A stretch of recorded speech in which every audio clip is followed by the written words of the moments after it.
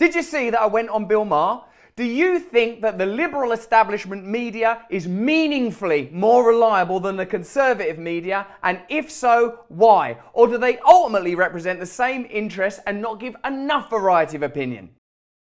Hello there, you six million awakening wonders. Thanks for joining me on this voyage towards truth and freedom. A voyage that will involve self scrutiny, honesty, a willingness to listen to other people's views and opinions in order that we might forge something new, interesting, and valuable together. Something truly inclusive, something truly capable of challenging establishment narratives. If you don't subscribe to our channel yet, subscribe right now and turn on the notification bell. We make these videos all the time. We're on hiatus from our Rumble show at the moment, but we'll be back on Monday the 13th with new shows every day, so find us there as well. Now, I went on Bill Maher the other day and I had a conversation about the mainstream media, in particular, the differences between MSNBC and Fox News. My perspective is that all mainstream media outlets are so beholden to corporate and commercial interests that they will not give you the type of information you need to make valid decisions about the way that systemic power operates. That's my position. So I don't think Fox News is the answer. I don't think MSNBC News is the answer.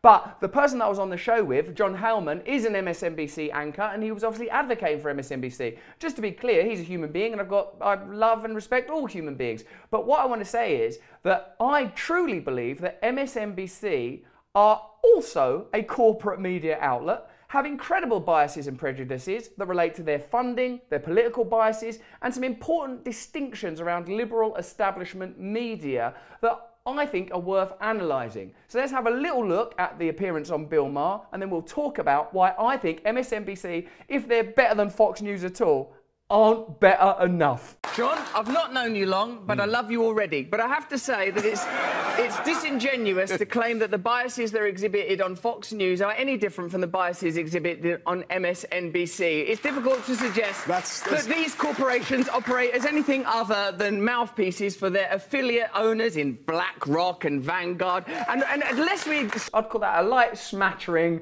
of applause at the mention of the name BlackRock and Vanguard, and indeed, two of the biggest investors in MSNBC are BlackRock and Vanguard. We'll unpack that a little more in a minute. I've been on that MSNBC, mate. It was propagandist nutcrackery You're- on you're not there. gonna- you- I went on a show called Morning Joe. It was absurd the way they carried Good on. morning, Joe. Yes. Yeah, That's I don't know what it was. It wasn't morning. There was no one called Joe there. No one could concentrate. They didn't understand the basic tenets of journalism.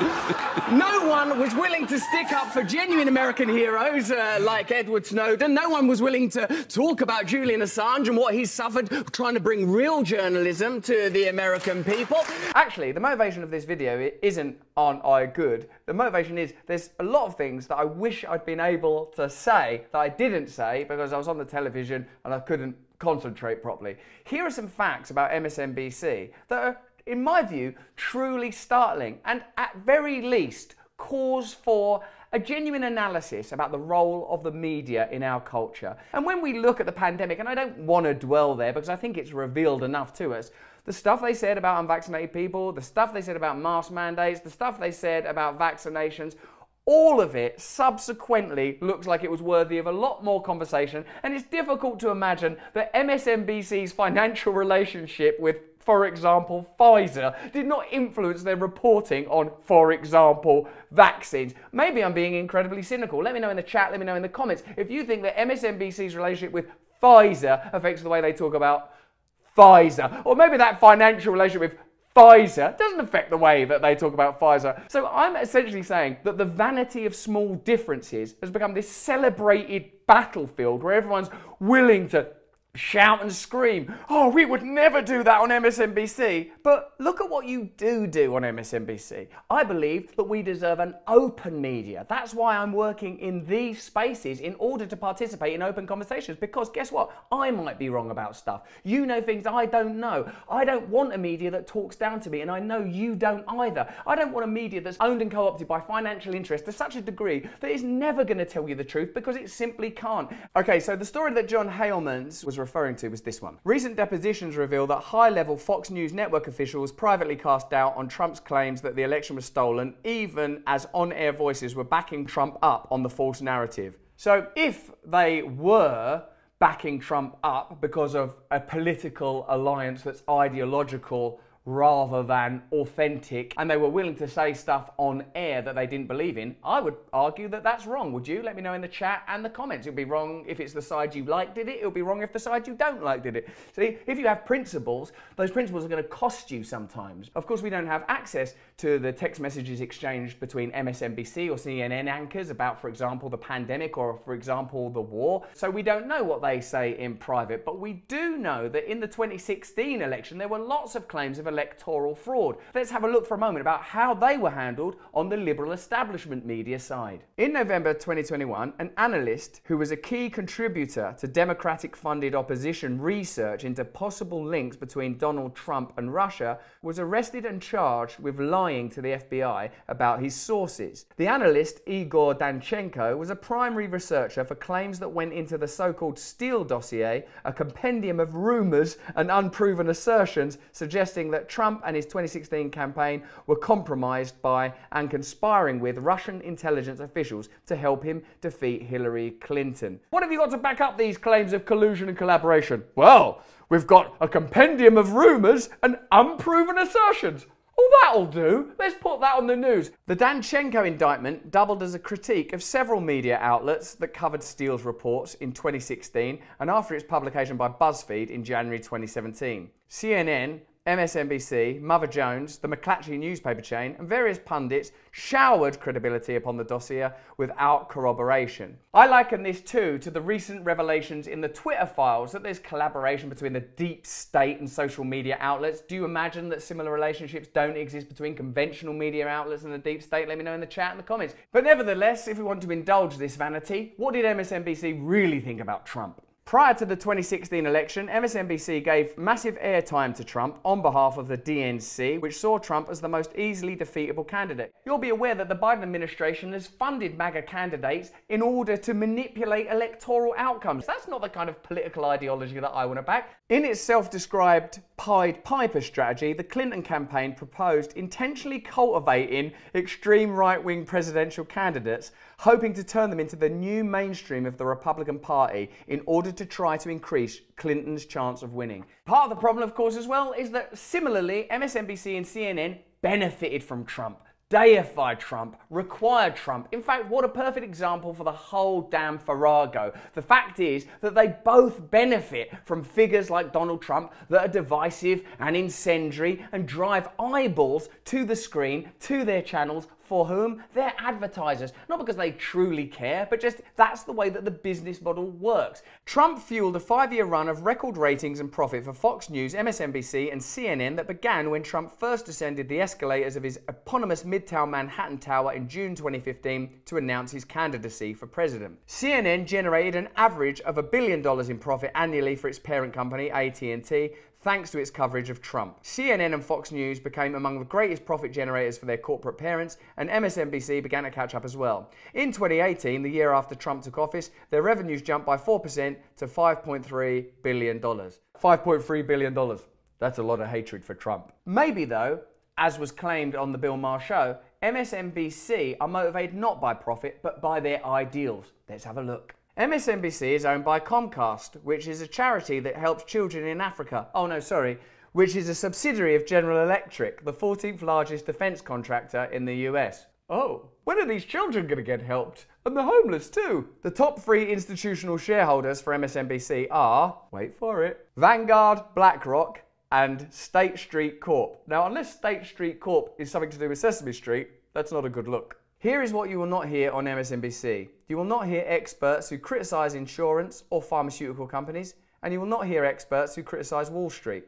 Remembering, of course, that Wall Street owns the insurance and pharmaceutical companies. Neither MSNBC nor Rachel Maddow ever called out Wall Street for its influence of elections. In 2016, Wall Street contributed $184 million to candidates and parties. In 2022, MSNBC aired an interview with a New York Times columnist blaming inflation on workers getting COVID relief money rather than on corporations using their monopoly power to fleece consumers with higher prices that then fund giant executive pay packages and shareholder dividends. This is one of the contentions I have, if I may say, with the conservative media. I don't think that there is any left wing media. Because if you had a left wing media, which it would be impossible in the corporate space, they'd be saying things like, hey, listen, we're going to have to do something about the corporatization of American political life. That's what they'd say. They'd have to say, the pharmaceutical giants are making too much money, the insurance companies are making too much money, the arms industry is making too much money. No one's able to say that because they're all owned by the same interests. You will not hear criticism of our demented war budget, but GE does let war material competitors like Northrop Grumman, Lockheed Martin, and Boeing take out pricey ads on their networks. Stories that lead watchers to criticise any of these entities are likewise spiked. Many of the retired military leaders employed by the networks as paid contributors have secondary affiliations that are rarely, if ever, mentioned, leaving viewers in the dark about whose interests they're promoting. A responsible news network would say, here is this person who we're presenting to you as a military expert, but we want to tell you also that they sit on the board of Raytheon or Lockheed Martin, just so you know there are some biases at play. That's what an alternative, a genuine alternative media source would look like. Let me know in the comments and chat if you agree. None of the leading networks, including MSNBC, makes a regular practice of announcing its military analysts' financial ties to the Pentagon, connections that could colour their on-air comments. During its Ukraine coverage, MSNBC even failed to include disclosures when the network invited on former Homeland Security Secretary Jeh Johnson, who serves on the board of directors at Lockheed Martin, the world's biggest defence contractor. Now, of course, I wouldn't make any glib claims about MSNBC's relationship with Lockheed Martin or Jeh Johnson's relationship with Lockheed Martin, but personally, I think it's relevant if you sit on the board of a weapons manufacturer and then go on the television and say that there should be a war and that we should spend your money, public taxpayer money, on weapons.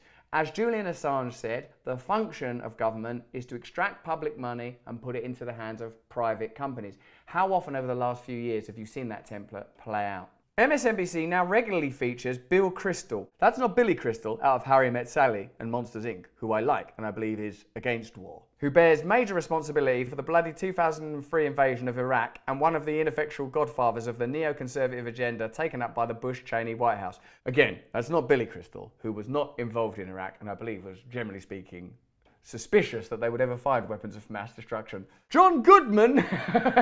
Cable news viewership jumped during Russia's invasion of Ukraine.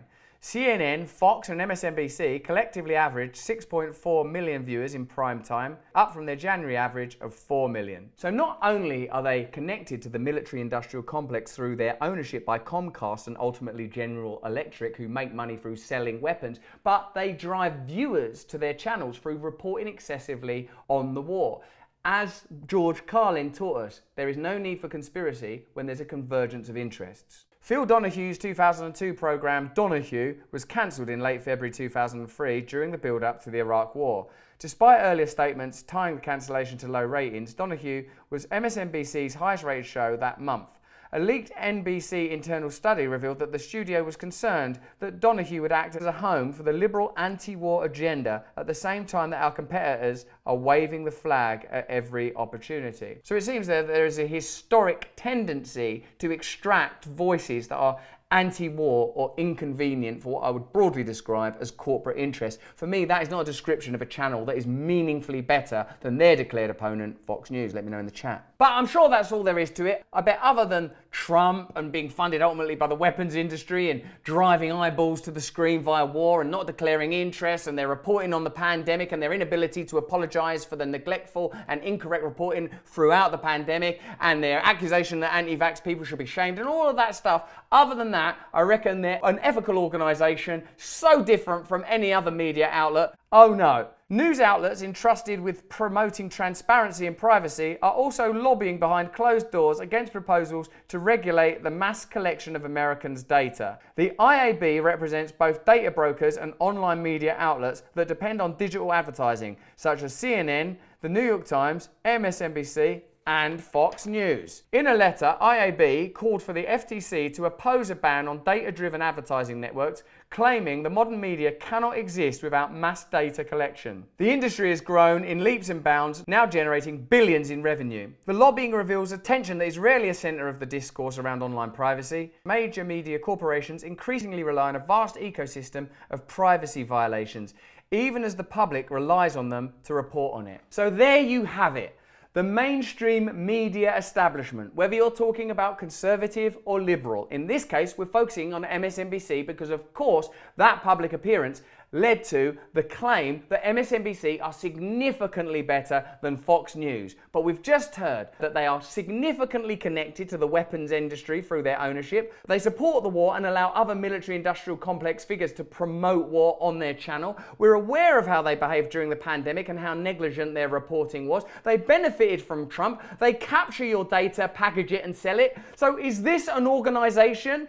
that you think is pure and valuable? Do you think that this is the best that we can do for the American people? Do you think this is the function of the media? Because this is what I believe is possible for the media.